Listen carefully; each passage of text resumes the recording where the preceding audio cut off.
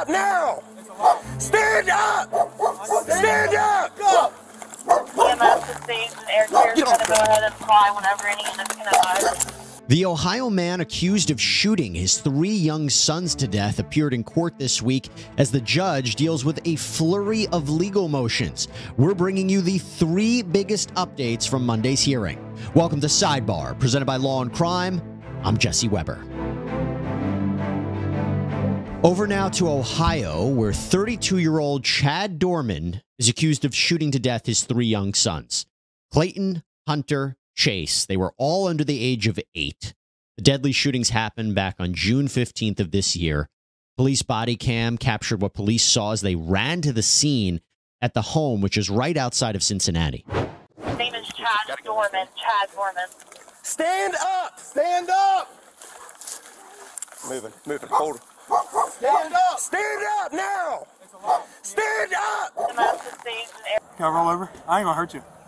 I ain't gonna. I ain't gonna hurt nobody. You got anything on you? No, I ain't got nothing, man. Phone. That's it. Pretty wild that he would say he's not going to hurt anyone after allegedly killing his sons execution style with a rifle. By the way, he's even accused of chasing one of his boys down, bringing him back to the house, and killing him. During Doerman's arraignment hearing, prosecutors say he confessed to planning and carrying out the deaths. He'd reportedly been planning these heinous crimes for months. we have here is the planned slaughter of three little boys, ages seven, four, and three. Uh, The first one shot was a four-year-old, shot in the house two times, then sustained two bullet wounds to the head, causing his death.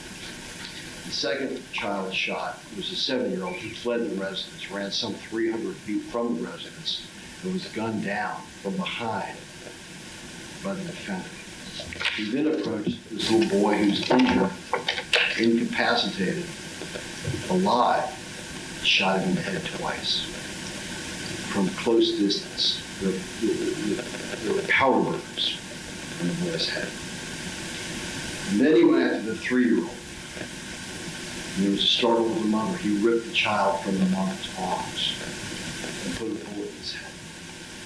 Close range. I can't go into a whole lot of facts, all right, because this is a death penalty case, and my goal is to have this man executed for slaughtering these three little boys. Now, the boy's mother was also shot during this incident with a bullet hitting her hand. Doerman faces nine counts of aggravated murder plus other kidnapping and felonious assault charges. He faces the death penalty if convicted, and he has pleaded not guilty. I want to bring in right now Law and Crime correspondent and host of Crime Fix, Angenette Levy, to talk a little bit more about the biggest updates from this week's motions hearing. Angenette, good to see you. Uh, first, let me just start off before we even get into the motions. My understanding is you know about this area and some of the players, right? Yeah, I, I live in Ohio and I, I do know some of the players in this case, Jesse, and thanks for having me. Uh, This is a horrible case. I mean, we cover so many crimes here on Law and Crime that are just absolutely disturbing. This one boggles the mind. Anytime we cover these cases where parents kill their children, it's so hard for all of us to wrap our heads around this, especially this one, since Chad Doerman was planning this for months. That is what he told detectives. For many months, he was plotting this out. And these are defenseless, helpless little boys that he was supposed to be loving and taking care of. As a parent, it's your job to protect your kids. And he was not doing that. Yes, he has pleaded not guilty. But I think it's quite clear from the evidence that we have, he did it. Uh, just exactly what his defense will be it has not yet been made clear to us. Yeah, and I 100% agree with you. Cover murders and the worst kinds of crimes every day, but it's the ones against children that, I don't know, for me, they're the ones that resonate the most, they're the ones that are most difficult to shake, the ones maybe the hardest to understand. Um, now, just to be clear, before we get to the what happened in the hearing, we have not gotten any more information about a motive, right? That hasn't been identified by prosecutors. You know, I think this is just something he said he had been plotting uh, for a long time. I think this is somebody who's really disturbed. And to think that he was sitting around for months and thinking, this is what I'm going to do, and I am going to do this, uh, is just beyond the pale. So, Yep. uh, not exactly 100% clear on that motive, other than This is something he wanted to do. Um, and, you know, think about the mother in this case. She's sitting there watching her children be slaughtered. She's obviously trying to do something to protect them, and she gets hit with a bullet. So, this is a guy who's got a lot of rage, quite obviously. Hey everybody, this is a Morgan Morgan legal alert. Evidence shows that Google has allegedly violated the privacy of millions of Americans via incognito mode. Your personal information and data may have been unfairly collected and then used for profit. As America's largest injury law firm, Morgan Morgan has recovered over 20 billion dollars in compensation for clients, and they may be able to help you fight for justice. If you've used incognito mode in Google's Chrome internet browser, you can find out if you have a claim in only a few clicks by visiting www.forthepeople.com slash lcgoogle. It only takes a few minutes to sign up and find out if you have a claim. It's uh, it's unthinkable and it's unimaginable. To, to say the least. Um, my understanding, though, with respect to the legal case, is that there were more than two dozen motions that the judge is looking through, filed by both, both by the prosecutors and the defense. And my understanding is that the judge hasn't officially ruled on any of them yet, but we are learning a little bit more about them. Angenette, talk to us about uh, first what Doerman is trying to argue he should be able to wear and not wear in court. Well, he doesn't want to wear restraints. And we see that that's a pretty common thing in cases uh, where he should not have to wear restraints in front of the jury. And I think that we can agree that that's probably something that he should be allowed, you know, the judge should permit that. Uh, when there's a jury in the room, he should be able to appear without restraints. A lot of times, uh, the defense attorneys will argue that even pre-trial they should appear without restraints because those images go out on the news and people see them. He was in street clothes yesterday and you know he's got the you know little belt with the shackles and the handcuffs and all of that stuff. The judge said uh, in court that look, i am hearing he was he's been a model citizen in jail. He's not been a behavioral um, issue for the people in the jail. He's he's behaved. I think it's interesting because a lot of times we see people accused of heinous crimes once they get into this institutionalized environment they they are model inmates maybe that's what they need i don't know he could be receiving medication i don't know i'm, I'm assuming he may have some mental health issues. Uh, so there are a lot of things probably going on that we're not privy to. But he wants to appear in street co- clothes and not wear restraints. And this is not surprising to me because his lawyer greg myers is somebody I've uh, kind of been in contact with or known sort of through the court system for a while because he represents and has represented a lot of people accused of very heinous heinous crimes, including Jake Wagner in the Pike County massacre. So um, this is a guy who's been around the block. He knows what he's doing. He's like the chief trial counsel with the Ohio Public Defender's Office. And he routinely files motions such as these when he's representing a client saying, My guy shouldn't be seen in these restraints because you're going to paint a really bad picture of him in front of the jury. So, a lot of times, what they'll do, and I know what they did in the Pike County case, they have this like vest that they put on them and they put it on underneath their clothes. And if they get out of line or do anything wrong or pose a harm or a, a threat to the public in the courtroom, they can zap them. Mm. And all these mm. volts go in there. Um, there was another case that we covered here on Law and Crime. Anthony Kirkland. He was a big behavior problem in the jail. He was he's like he's nuts. I mean, the guy. Yep. He, I remember that one. I remember that one. Horrible yep. little girl. He's a horrible person. Like he's just the worst of the worst. And they had this um, belt that they put on him because he. There, there were times they had to strap him to like a gurney and wheel him into court. Uh, we were like, "What the heck?" Like literally, he's like strapped into this like Hannibal like, Lecter chair. And so they had a um, thing on him. And I remember the judge Pat Dinkelacker said to him during the sentencing hearing, he's like, You're going to sign this piece of paper basically saying you know that you've got a, a thing on your leg. And if you basically are out of line or you try to act up in this courtroom, the deputies can zap you and it's going to be like 80,000 volts or something crazy going into your body. And you'll probably defecate and urinate yourself right here in the courtroom. So, wow. I mean, there, there are a lot of things they can do to um, ensure that the the prisoner or the inmate is not seen in restraints in front of a jury. And those are two of the things: the vest and the stun cuff bracelet thing on the leg. Yeah, and just to you know explain a little bit more what you said about what the judge said here, he, he was quoted as saying Mr. Doerman has uh, not been disruptive in any fashion at the county jail. He's not Yeah. caused any problems. He's been in the courtroom twice and has been very compliant. That will weigh in on the methods of restraint that I will consider at issue at this time. By the way, uh, Angenette, you covered Pike County. Didn't know that. Um, let me. Um, you should say that's an inside joke to all of us around here. Listen, so I don't. Angenette, Angenette, if it wasn't for Angenette, we wouldn't probably have known about Pike County. We wouldn't have gotten all the details. It was Angenette's case. I like to tease her about it because that was your uh, that was yours. That was yours. That was the one you covered. yeah, But- there's like a there's a behind the scenes thing that goes on with this. So Yeah. um, we'll just good. say all I have to say is are two words: Sam Goldberg. Enough said. all right, and we'll leave it at that. All right. So there was another big issue about jury selection. Who's going to be selected? What questions they're going to be asked? What did we know about that? Yeah. So, Jesse, the- defense is asking for a couple of different things here. They want individual voir dire. That means you have all these jurors sitting around. Maybe they bring a, you know, several hundred of them in.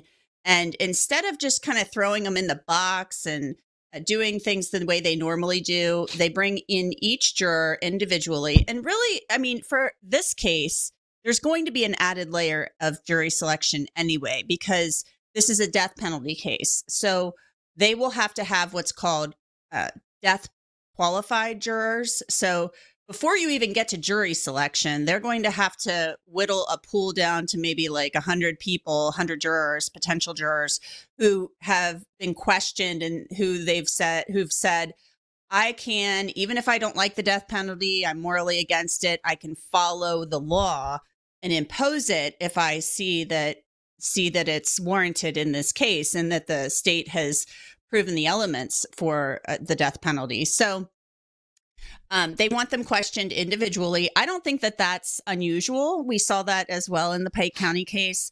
At least in George Wagner's trial, they brought the jurors all in individually. They interview them. It takes maybe like 20 minutes a person, sometimes longer if issues arise.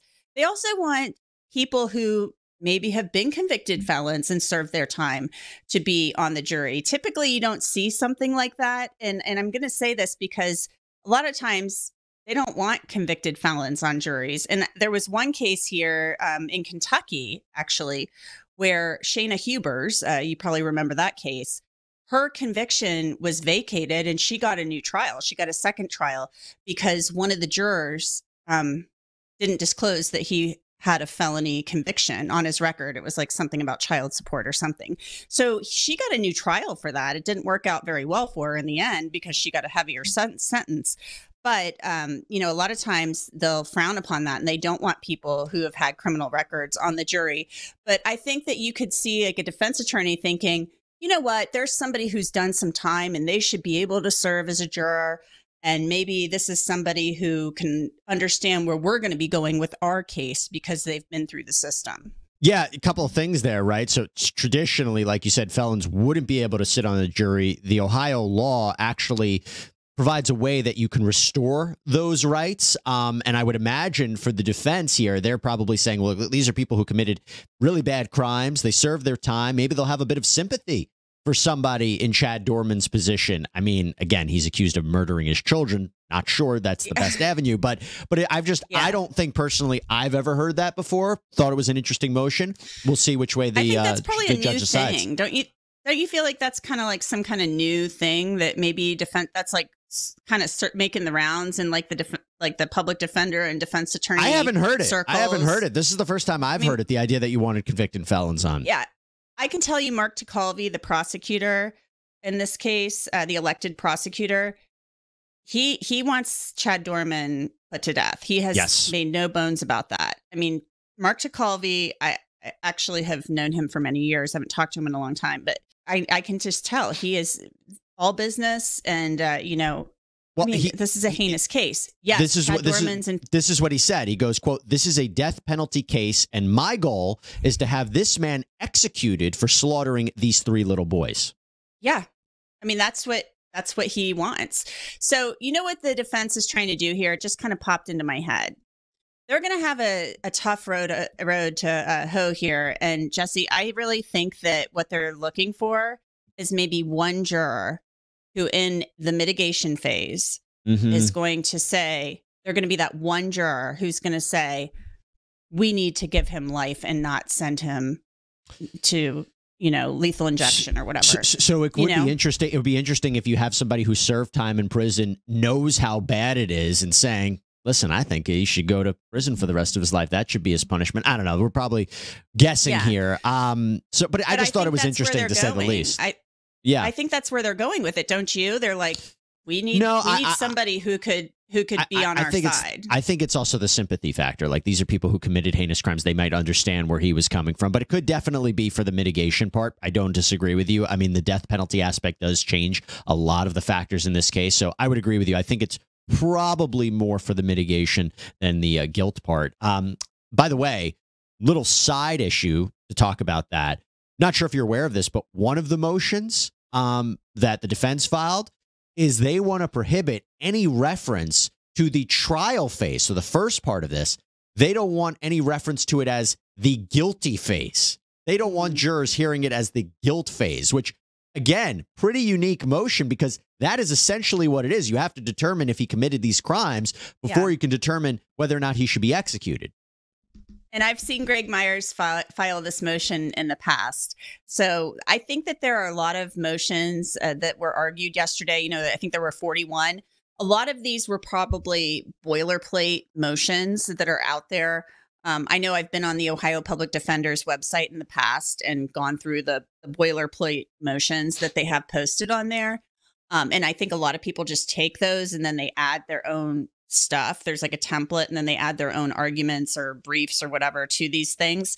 So um, that does not surprise me at all. I think that's a pretty common thing. And I've seen that in some death penalty cases in Ohio because they're trying to like soften the language Right. so that you don't just go in, oh, the guilt phase. Well, must be guilty, you know, right. so right. that right. you're you're kind of conveying a different message about the system to these jurors. hmm I, I can understand that. Um, there was one other big issue we want to talk about the motion concerning all of the photos and videos of the crime scene. Uh, what can you tell us about that?